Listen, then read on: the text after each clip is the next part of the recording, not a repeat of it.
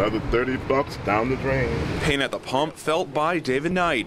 Nowadays, prices are higher than your honor child's GPA. Drivers say the sticker shock deserves a failing grade. Miss my paycheck, that's where it's going into my car.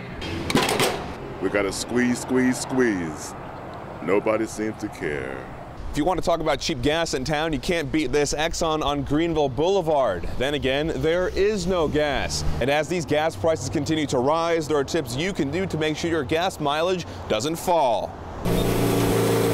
The first thing you want to do is make sure your tires are fully inflated.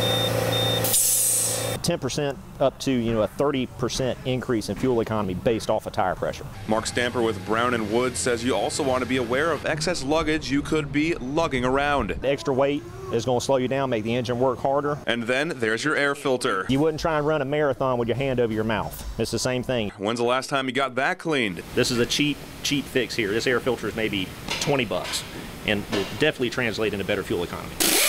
And for those leadfoots out there, this step is twofold. Hard acceleration and quick stopping at lights will surely drain off more fuel. And when it comes to the speed limit, just obey it. For every five miles above the speed limit translates into, I believe, a 5% decrease in fuel economy. Small steps that could see large results in the long run.